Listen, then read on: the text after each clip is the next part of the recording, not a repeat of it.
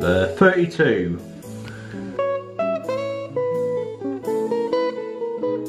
What is up guys? What is up? Because uh, we will be doing the Las Vegas themed cocktails and we will be doing cocktails based on the spinning wheel or the roulette from 1 to 36. It's landed on number 32. So today's cocktail guys will be the Manhattan.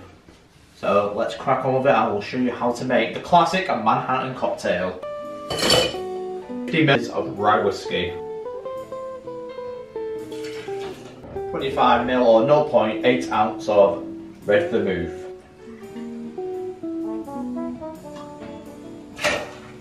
Two dashes of Angostura bitters. Time to shake. Uh, remember to shake it for 8 to 10 seconds, get nice and chill.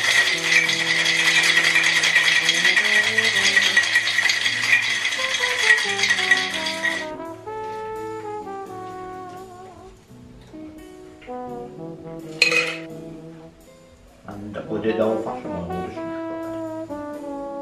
We'll, be doing the roulette again for the next cocktail from 1 to 36 and whatever it lands on, we will make that cocktail for that video. I hope you enjoyed the Las Vegas themed cocktail. We'll be doing plenty more of these videos like this. And I will see you for the next Las Vegas themed cocktail.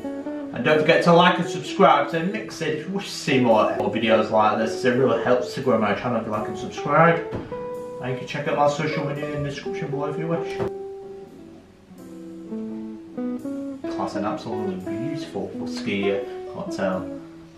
So it's another cuppa, it's the vermouth with the rye whiskey with that, that added two dashes of Angostura it gives it that bitterness but it's absolutely beautiful.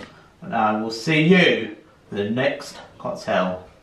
Cheers guys, see you next time.